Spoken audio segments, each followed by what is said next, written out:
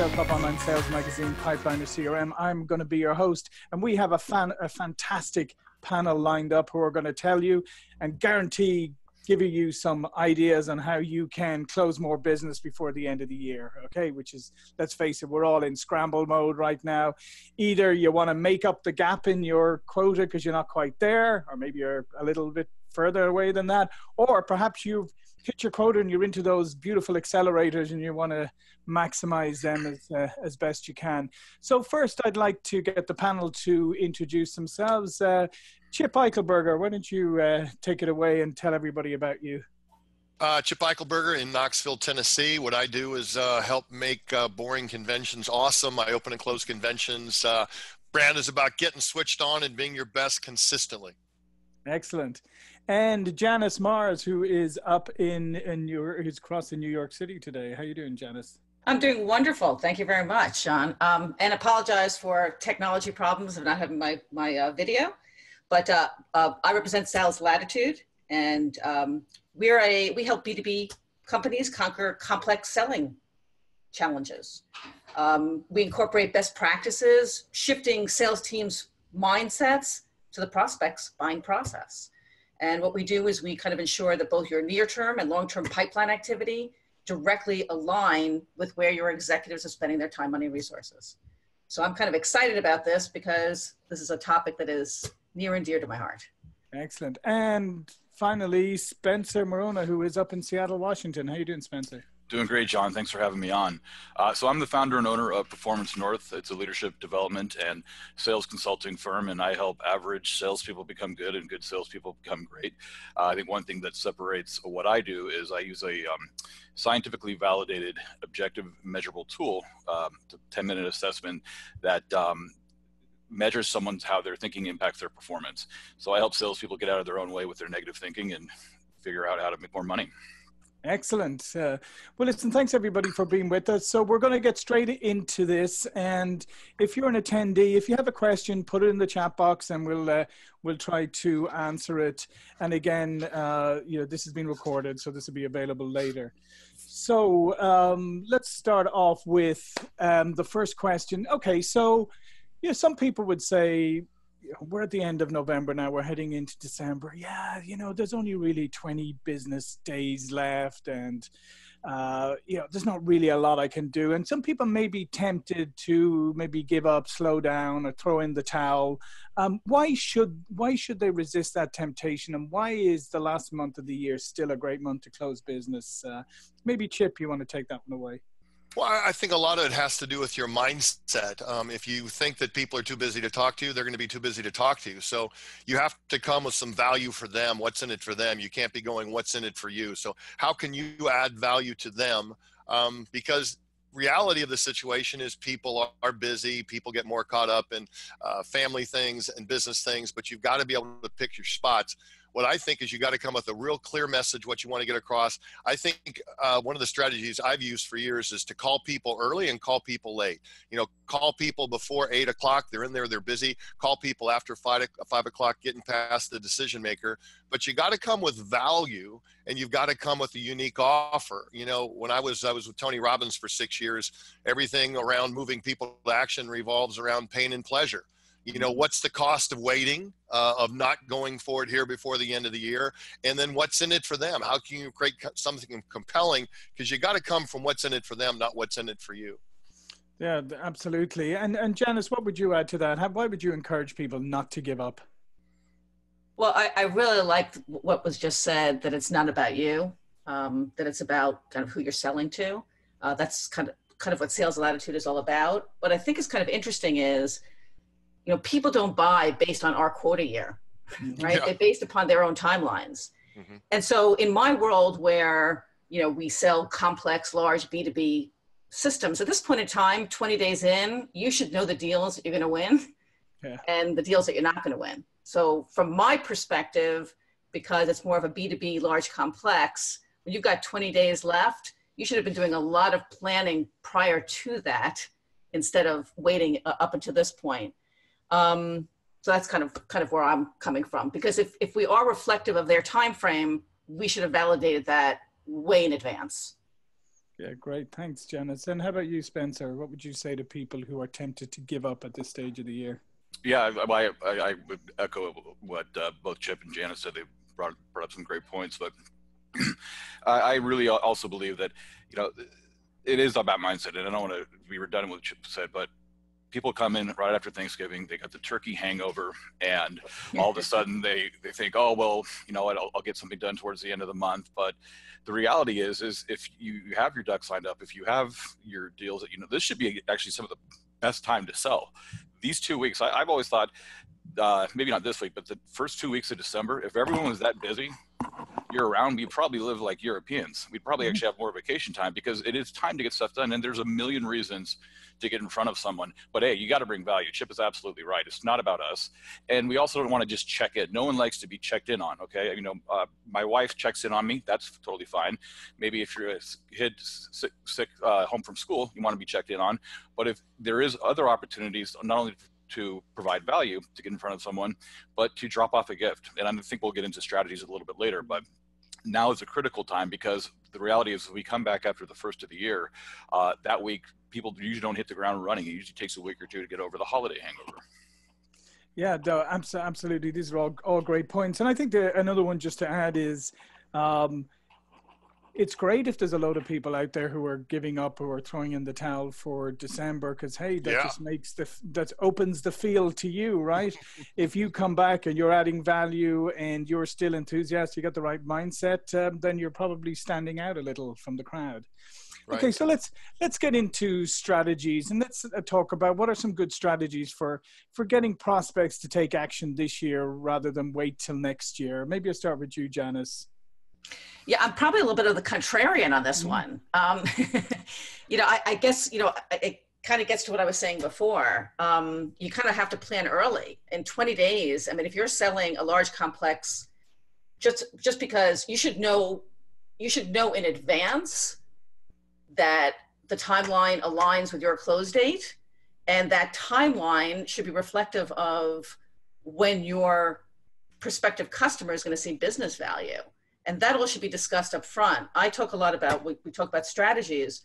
Um, I work a lot with either when I was managing a sales team and now when I'm in consulting, we do a joint evaluation plan or a sequence of events plan. You can call it anything that you want, but something where you are um, setting key activities that helps your cu- prospective customer get to their business outcome in the time frame that they want, and you assign responsibilities and timelines. And that's reviewed from the very beginning of the sales cycle.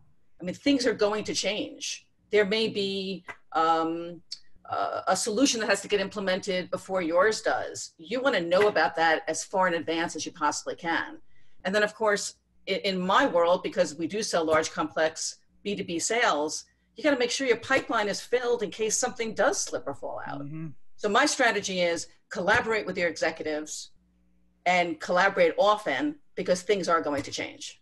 Yeah, great. That's great. And what about you? Um, what about you, Chip? What? Uh, well, what I think it really depends on who's listening. What's your business model? Is it a complex B two B sale, or is it more of a transactional? You know, we've got people in the automobile business. You know, when's the best time to buy a car? Well, end of the month. When's the best time to do it? End of the year. December 31st is the best day because obviously they want to get the business in before the end of the year, and that's a good time for you. So it kind of depends on somebody's business model if they're listening. I mean, you've got obviously a culture. Um, built around people buying stuff, right? So we've got people in retail operations. You know, uh, to get people to buy now and move, you've got to create a buy, buying atmosphere. You've got to have fun. You've got to have energy. You've got to have the music. You've got to have the recept, re, re, um, what's am I trying to say? The uh, uh, reciprocation is a good way to build value. What are you giving people? The more you give to people, the more they feel inclined to give back. So um, I'm just I'm glad to give you a question that we use really really consistently. When I was with Anthony Robbins for those years, and we were getting people to make a decision. And it's a brilliant question you can use in many different sales scenarios. And let's say they were evaluating uh, back in the day when I started, we were selling very expensive seminars, for example, mm-hmm. right? And we would say, hey, James, not to say you were going to decide to go to that seminar now. And if you did decide to go for it now, why would you? It's just a brilliant question. Say, well, you know, I, I do it to help my family. Well, tell me more about that. What, what about your family is really important? Or I do it for my health. Well, tell me about your health. What's going on there? And then you just keep digging deeper and deeper and deeper. And by asking that question, I'll repeat it. Hey, not to say you would take action on this today or this month. And if you did, why would you? What's in it for you? What would it cost you not going? And just keep getting deeper and deeper and deeper. And you get people to help rationalize in their head. Um, they talk themselves into it. Very good question.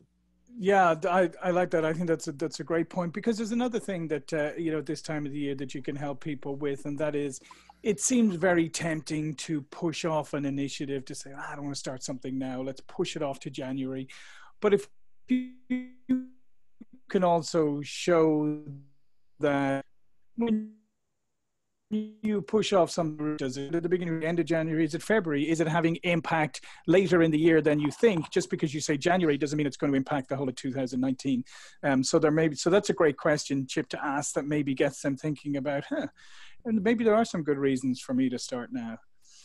Um, spencer what's your thoughts on how you can get people to uh, to take action now rather than wait to the new year yeah you know it's um it's interesting because I think as a lot of time as salespeople, we forget that the the buyer, the customer, they're not on our timeline. Mm-hmm. They're on their timeline, um, and it's critical to get commitments up front prior to Thanksgiving and knowing where your decision maker or influencers where are they going to be in the holidays.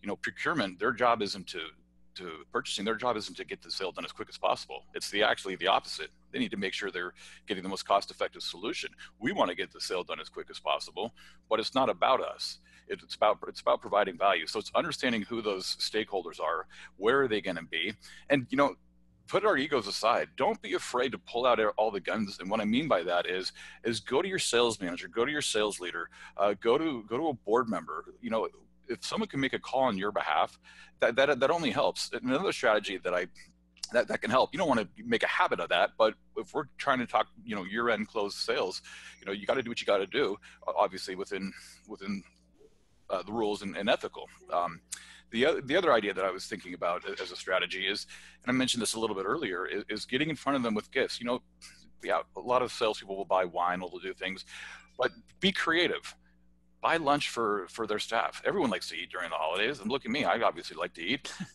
year round probably but you know i th- one thing that i did uh, i don't know about 10, 10 or 12 years ago when i was um, a commercial real estate broker is i had uh, chocolate fortune cover cookies made and inside of the fortune cookie you could have a custom little message and i think uh, in all i spent about $200 on these um, and was able to hit, hit up about 30 clients go door to door drop them off you want to know how many people took my call when i followed up john but I would say the majority. 100%. Absolutely. And what it, it, did, I didn't, I didn't actually close any sales that month because commercial real estate, there's a longer sales cycle, sure. but I got a, uh, excuse me, I got a ton of meetings set up. I got a ton of meetings set up in, in January and February as a result. Shed load, I think is what you were looking for. Yes. Thank you. Sorry about that. yeah, no, I, I thought those are those are great ideas and kind of along the same uh, along the same uh, kind of theme here. Um, and I'd be interested, maybe we start with Janice on this, your thought. Okay, so maybe if you look in your pipeline now and you have you know prospects and you have the timeline kind you know early next year um, are there ways you can go and look at those and and make sure that those are next year and there's not the possibility of of this year or or even setting them up to close earlier next year because let's face it one of the one of the kind of traps that we always fall into is we work so hard to close the end of the year and then we have kind of crash and burn in January. Yeah, that's that's totally agree. Um, you know, whether you're trying to move something forward or whether you're just trying to escalate in either mm-hmm. case, I still think, and I agree with um, you know everything that's been said. It's it's all about value. So if you can convince the executives to that by by moving the timeline forward is going to get them to their business outcome quicker with with minimizing the risk, then then that that opens it to a different conversation because a different conversation could be the executive might say or executives might say yes we do want to get this done earlier but like I said before, it might be that they can't. Maybe they can't get the budget until a certain date. Maybe they don't have the resources, but at least you ask the right questions so that you understand it and then can kind of help them. Um, I think if when salespeople go into trying to uh, uh, move a deal earlier or escalate something, as long as you're all about the value to the customer, I think the customer will be, be very open to the conversation and will provide you with maybe what some of the insights are. Uh, maybe they can do it and it makes perfect sense, or maybe there's reasons why they can't. Mhm. Yeah, and and I think and, and I agree with that. And I think another good one is also that uh, you know when you're talking to them and saying, you know, I, I really want to get this initiative underway for you. I want to make sure that we have all the resources lined up on our side. So you know, the earlier I can lock in those resources to work on your project, the better. So just introducing, you know, some elements that they may think about. Huh, maybe there is it is worthwhile for me because I do think that one of the best ones one of the best considerations for somebody is the fact that they they may have a timeline, but they don't want that timeline to slip out the other way either, right? So, Absolutely. uh, so there's there may be an element, there may be an opportunity there. Um, what do you think? Uh, what do you think, Spencer, about you know, kind of helping or relooking at some of your you know early 2019 prospects and seeing if there is any any opportunity there to either move it into 2018 or to ensure that it happens relatively quickly in 2019. Yeah, I think that uh, it is about timing and it is about value. It, it's it, it's it's hard because we want to be persistent, but we don't want to be a pest, obviously. Um, and, and, at the end of the day, uh, I think if you're asking yourself, you know, is this truly in the client's best interest to close in 2018? You got to put your commission aside. You got to put what's in it for you aside, and that's really hard to do in sales, right? We're in sales to make money and and and um, and live a good life hopefully otherwise there's plenty of other jobs out there that are not that are not as hard as sales so if you're asking yourself what's in the best interest for the client um, i think you're going to come from an empathetic perspective and you're going to be able to influence them not manipulate influence them for what's in their best decision and whether that's 2018 or 2019 if you're doing the right thing the deal will the deal will close at the right time yeah and, and what do you think chip Can you be more specific just in terms of moving the timeline forward or? Um, yeah, in trying to move the timeline forward. So either kind of, you know, if you can move it into 2018 or if you can to ensure that it happens in, you know, relatively quickly in 2019. So because as we know, um, the first quarter can be an interesting one as well because initiatives that were on the table for January can suddenly get moved or something else can come in. So how do you kind of mitigate as best you can against this? Well, my business model is a little bit unique. I mean, I can't move the timeline forward Sure. because you know what I do is I'm I'm speaking of their convention, and it's in January, February, December when it is. Um, what I would say, just from past experience, is with with clients, uh, what is this problem you're solving? How can you show them from a let's say you know sales 101 total cost of ownership of putting out that money? How quick are they going to get the return on their investment? How can you show them by accelerating the decision now? It's in their best interest to solve that problem or create more opportunities for them based on what that pro- problem is, and really making that very clear. I'm a big believer on um, using third-party testimonials and documenting your success. So if you can go to your hopper of past sales and say, you know, here five people just like you sitting in the same situation. We're so happy they jumped on this solution earlier. So it's not you saying it, but saying it and have some qualitative things in terms of how easy the implementation was, uh, how great you were to work with before, during, and after the sale. But maybe after the fact, once we implemented this XYZ cost savings or lead conversion, how can you show other people in a similar situation, just like them, who took action quicker, it was to their benefit? Yeah, I think that's a fantastic, uh, a fantastic idea, and I think yeah, if you have any any examples out there of people who actually said to you afterwards, "Wow, I'm so glad we moved quickly," or even, oh, "I'm sorry we didn't do this sooner," "I'm sorry that we spent so long in the evaluation stage," or whatever. But that's, well, that's I just that's, think salespeople in general. I'm not sure what Mhm. Janice and Spencer found. I, I just think they're very lazy. They're running to the next deal. They're not documenting their success. I mean, I get so much business. Somebody's in, you know, let's say uh, engineering company with you know i just got a booking today and i sent them immediately four other testimonials from people who i'd exceeded their expectations just like them similar situation. And it wasn't me saying how great it was. Hey look at this is what other people in your exact same situation here's what their buying decision was based on and they chose me so I, I think video testimonials are very powerful. Um, not just getting the testimonial right after, but two, three, four, five, six years later, going back to your best customers and helping to document that success. Most salespeople don't have those success stories to show. Yeah, you're absolutely right on that, Chip. I agree.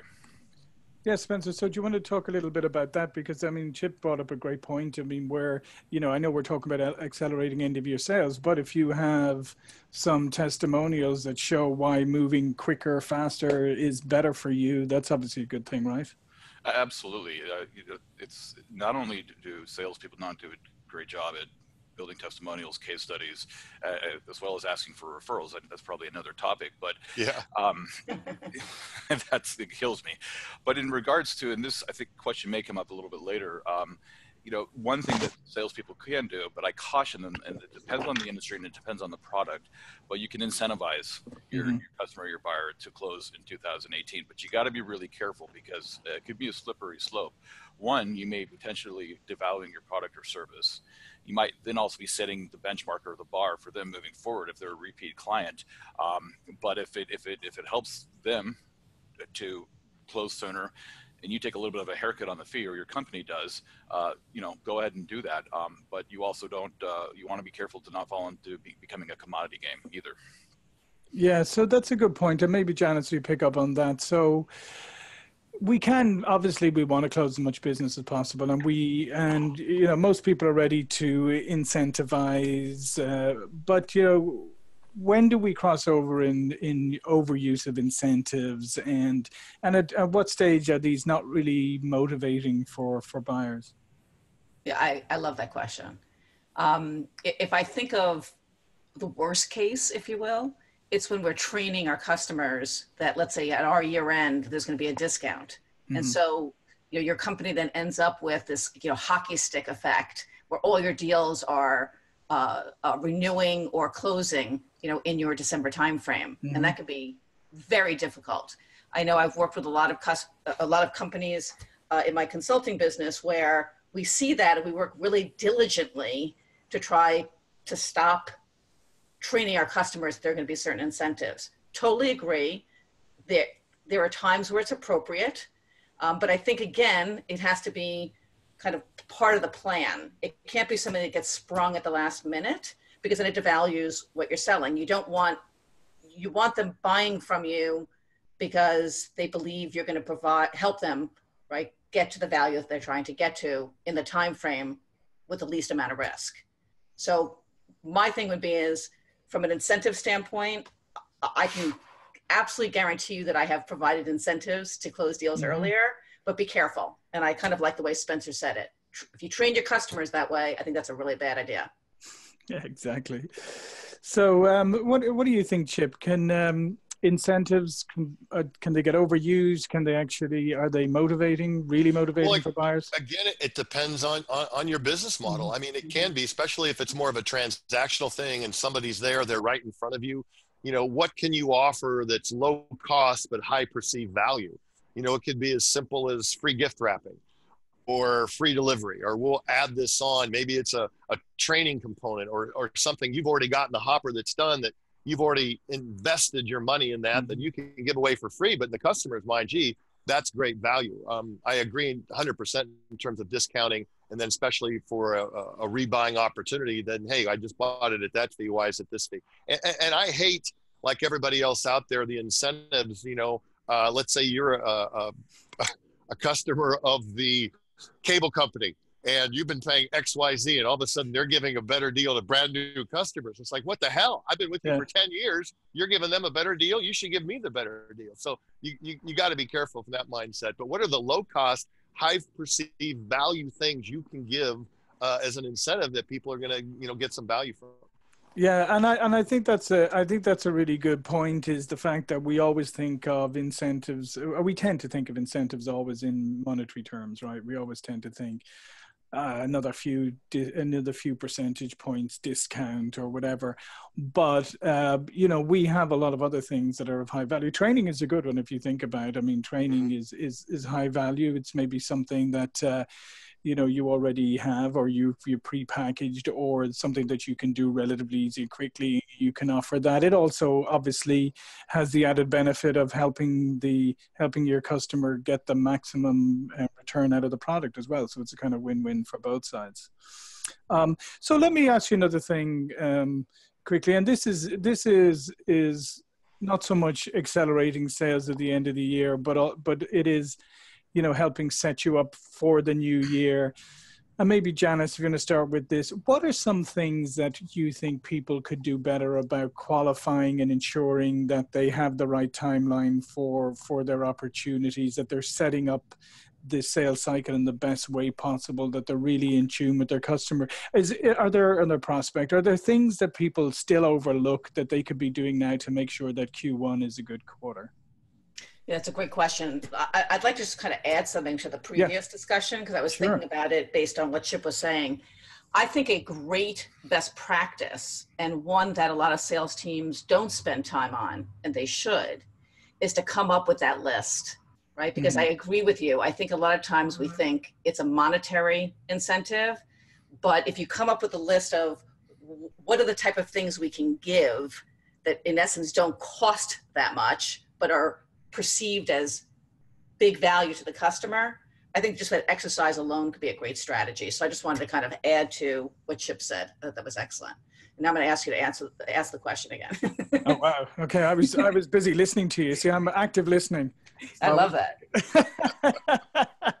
but anyway, just not not to overdo that point, but I do think that is a good one for everyone to take away is that go make a list of things, kind of incentives that you could offer that don't, you know, put aside the monetary ones for the moment, the percentage points. Look at all the other things that you could potentially offer. I mean, you could come up with something maybe that a customer and creative, maybe like Spencer mentioned earlier, that a customer goes, "Wow, hmm, never thought of that. That's a really nice uh, package. I want to take advantage of that."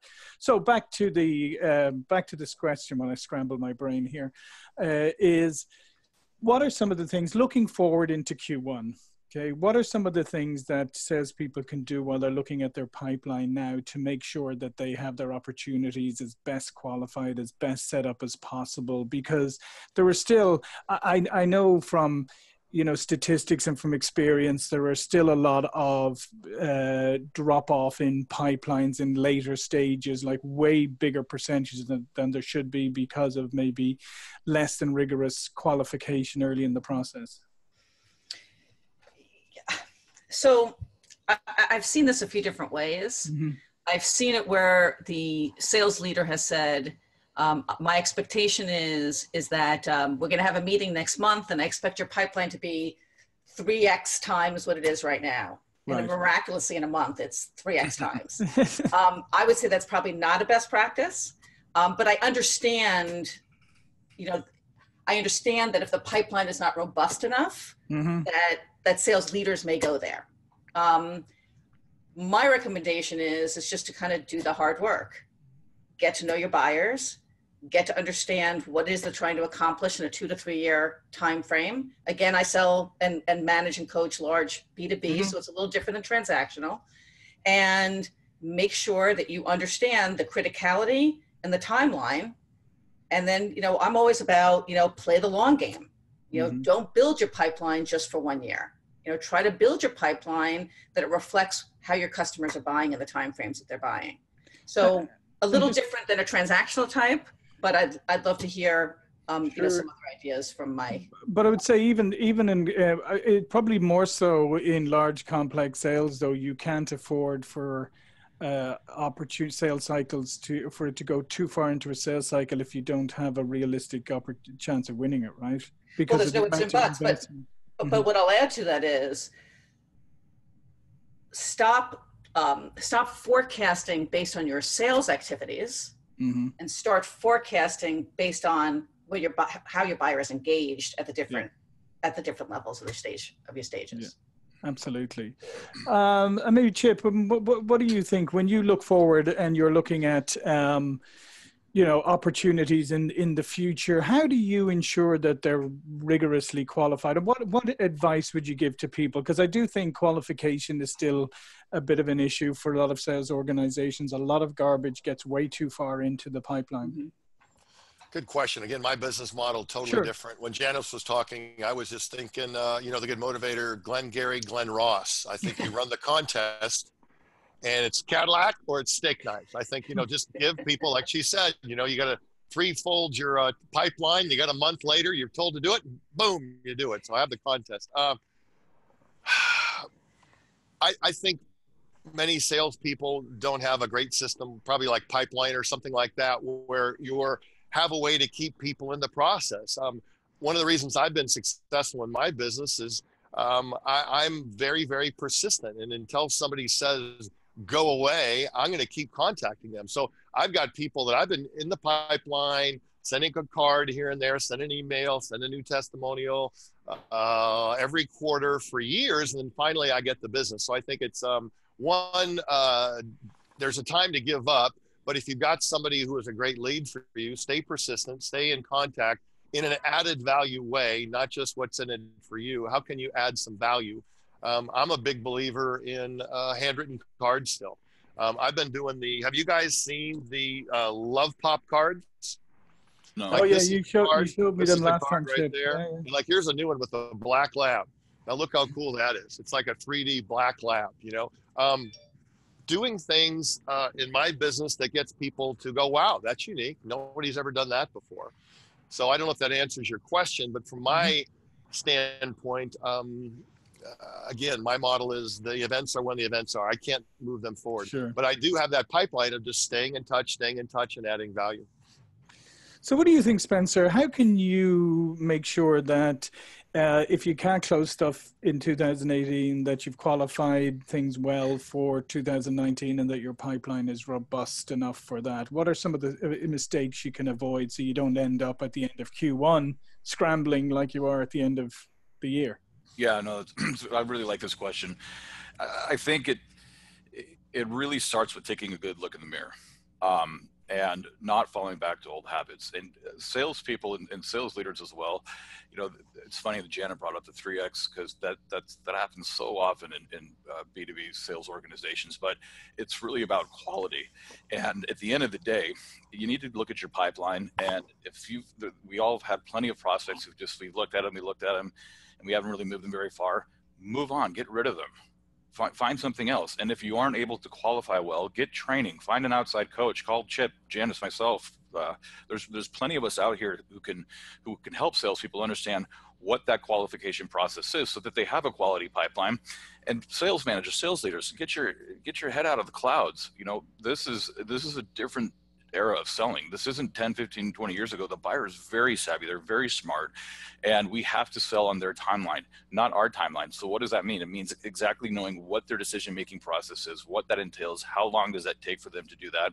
And then you have a pretty clear bucket, a pretty clear pipeline on what you will feel good about. You're not scrambling at the end of first quarter.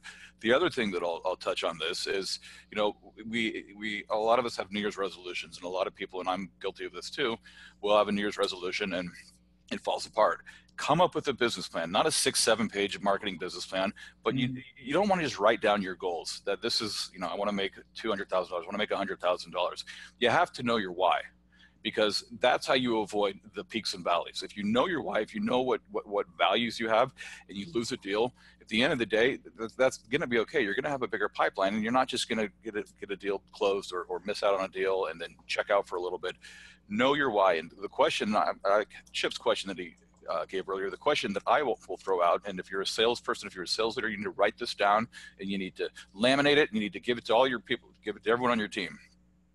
And the question is this what choice can I make and action can I take in this moment to create the greatest net value? Memorize this question because if you can memorize this question, you'll allocate your time better, you'll qualify better, you'll provide more value, you'll make more money, and you'll be happier in life.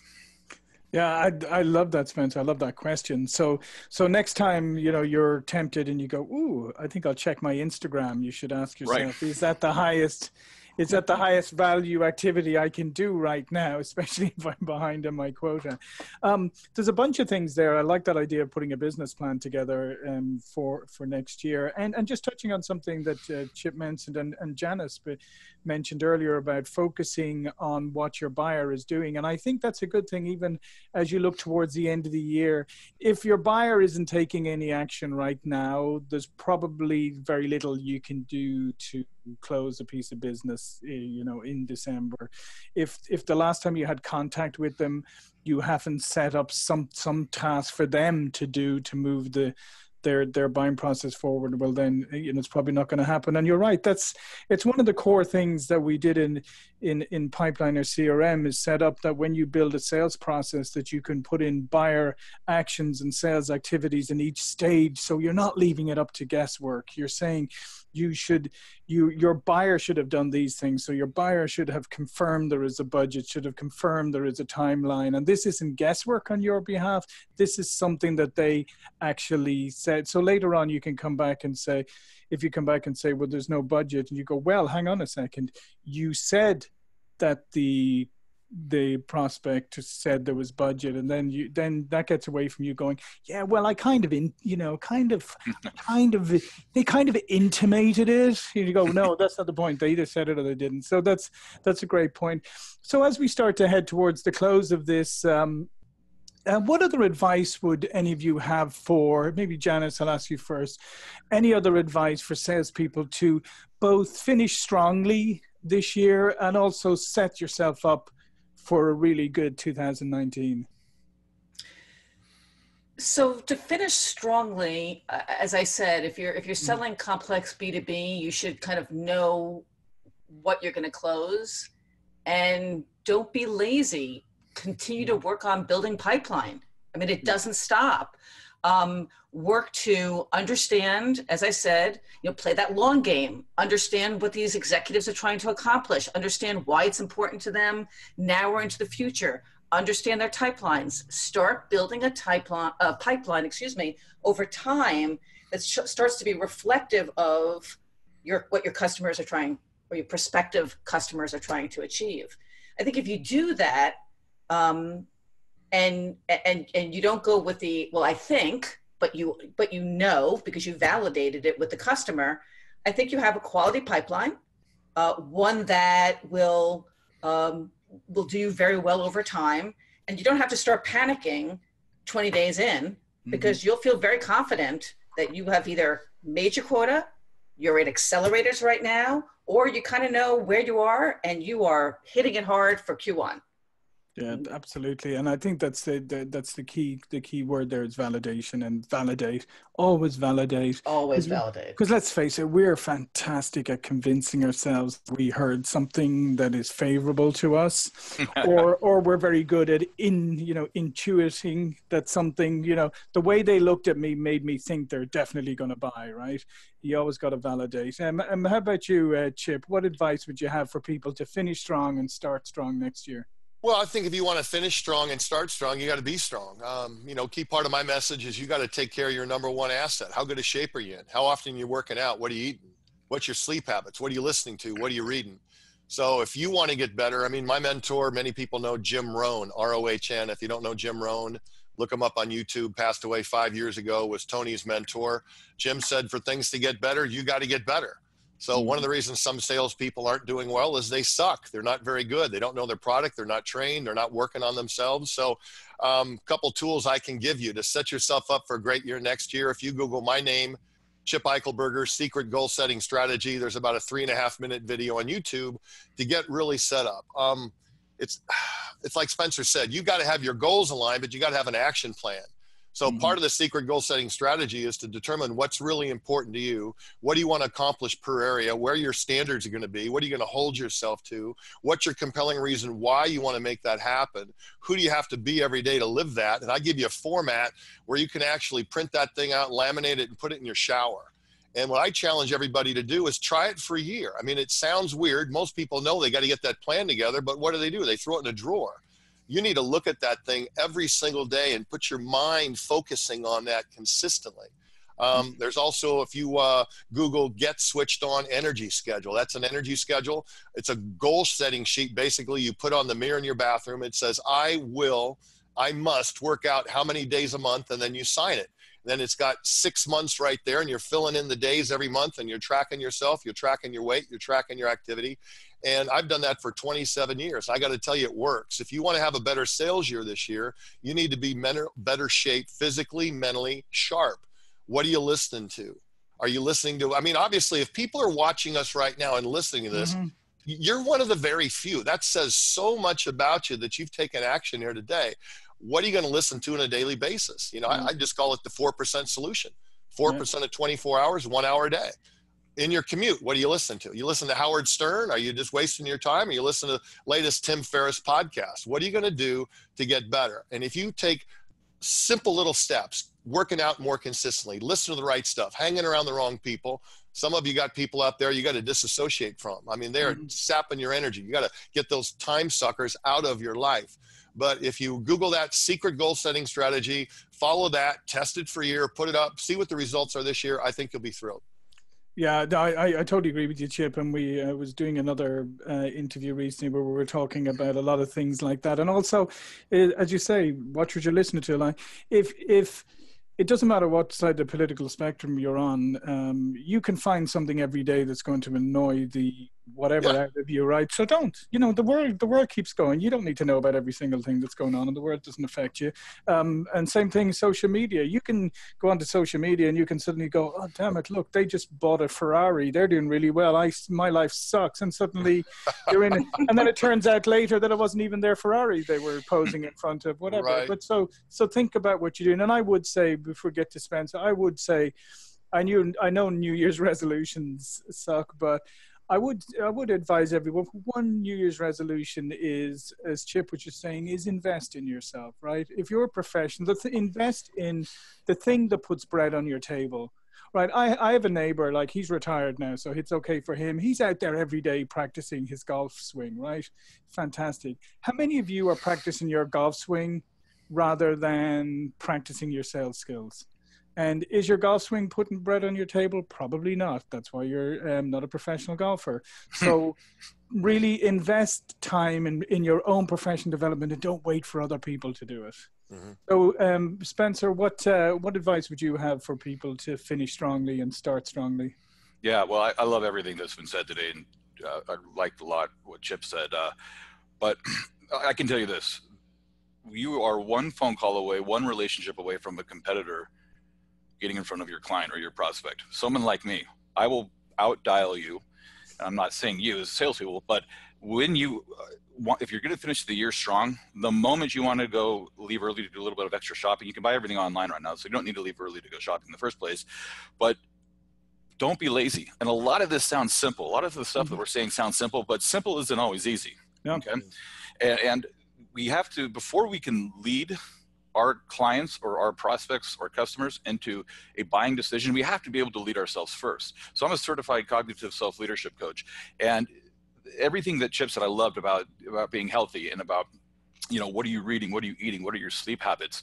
Um, that is critical. And and it's it's hard. You know in the, sales industry we're working hard. We might be on the road and traveling and but you need you need to take care of yourself. Um, when it comes to 2019 absolutely i'm a huge fan of putting an action plan together a business plan um, understanding what are my financial goals or what is the why? Why am i actually doing this? Why am i working at this company? What are my sales activity metrics that uh, I, what are my inputs that i need to, to achieve?